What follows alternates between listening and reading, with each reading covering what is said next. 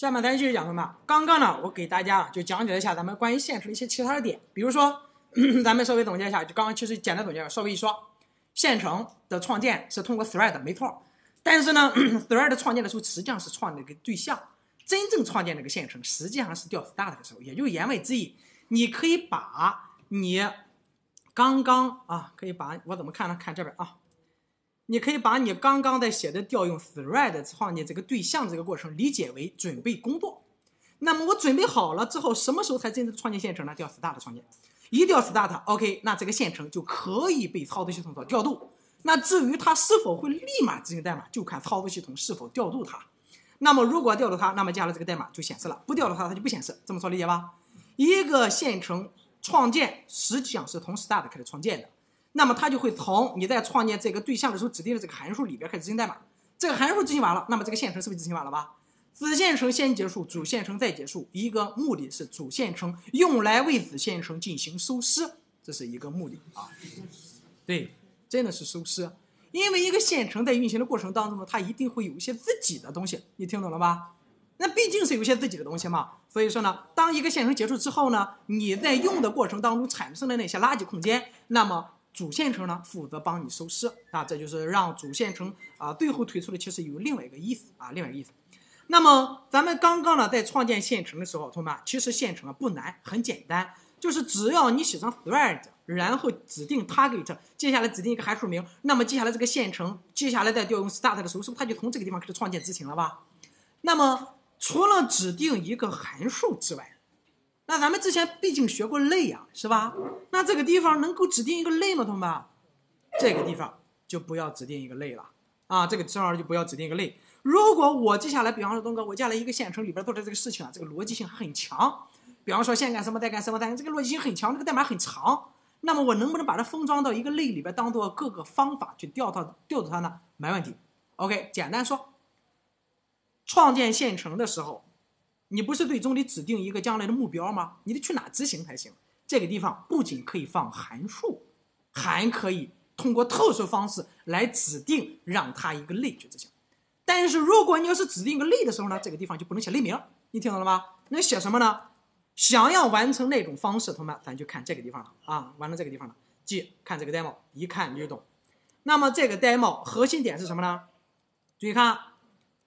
从这执行导入导入，甭管它定义了一个类，甭管它过去。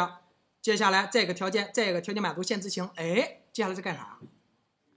创建了一个对象，因为你这个 myThread 毕竟是 class 来说明的，那么它就是个类啊。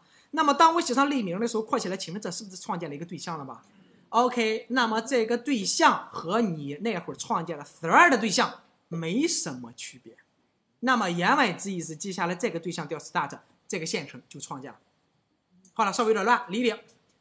你通过 thread 里边的它 target，不是可以指定一个函数名？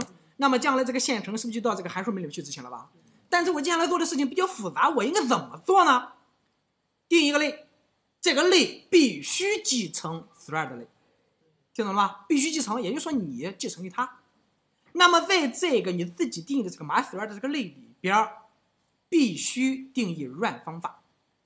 你定义了 run 方法之后呢，其他就不用管了，你只要在 run 方法里边写你接下来干什么就行了。那么当你创建一个对象的时候，请问同学们，我当我创建一个对象的时候，它是不是一定会调它的 new 方法？调完了 new 方法，是不是一定会调用它的引领的方法？对吧？那么创建以及初始化就结束了，即。T 指向了一个实例对象，这个 T 实例对象和你这么创建出来实例对象没什么太大区别，因为你 thread 是个类，那我接下来我用这个哥们继承了你，请问我多多少少和你是不是有血缘关系了吧？所以说呢，我里边也有一个 start 的方法，我要问大家一个问题：我这个类里边没有定义 start 的方法，为什么我能调？为什么？王思聪他没那么多钱，都是他老爹的吧？是继承的吧？没错呀，就这个特点嘛。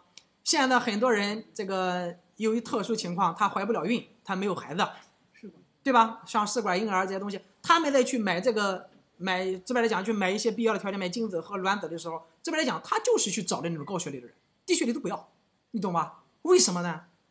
反正我怀孕就是我怀出来的，对吧？但是精子和原卵子不是的话，那那至少那最好是找一个大学生啊、研究生啊、博士生最好。有可能找一个什么博士后，那那成了傻瓜蛋了啊！一般不用找了，是吧？博士生就只会干自己那个行业，其他都不行了。那么这个时候呢，你就不如什么了？找个什么研究生呀，还是可以的。简而言之，这就是一个特点，继承，对吧？同学们，学到类里边三大特性，什么？啊？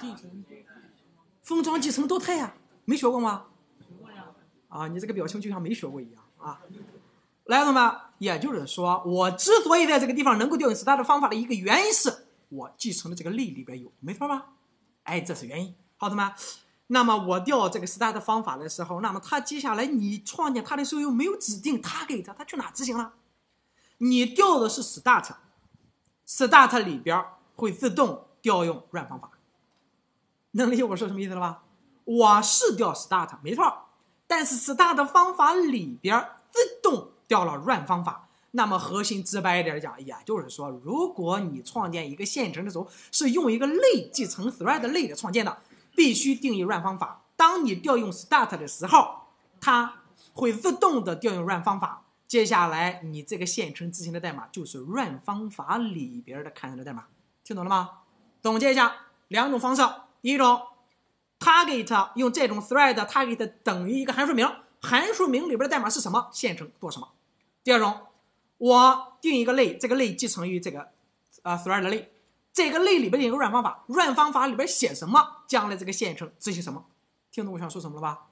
很多同学呢有可能犯迷糊的，觉得这个地方东西不是不是应该调 run 吗？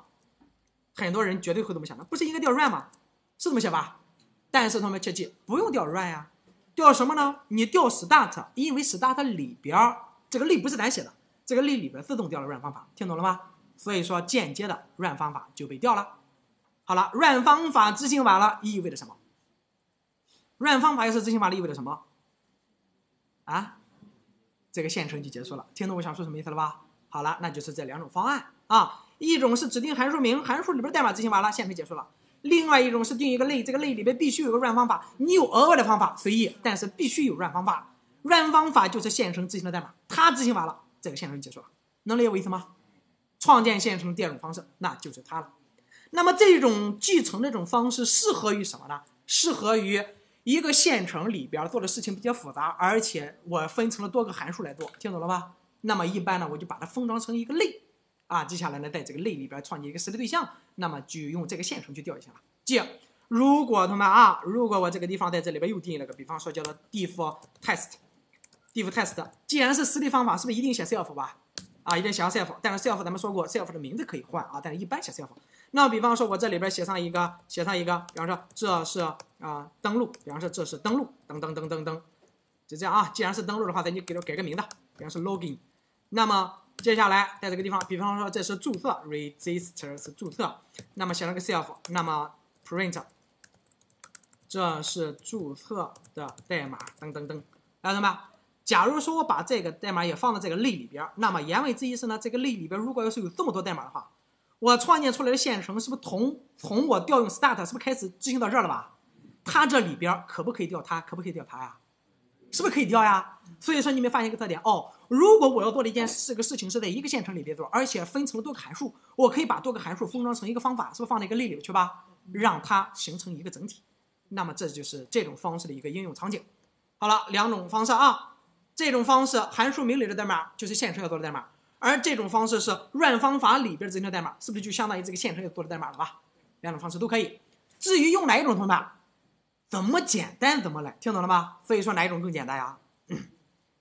他给的那种方式更简单，听懂了吧？那种方式反而更简单。好了，两分钟理一下我刚刚所说的创建线程这种方式。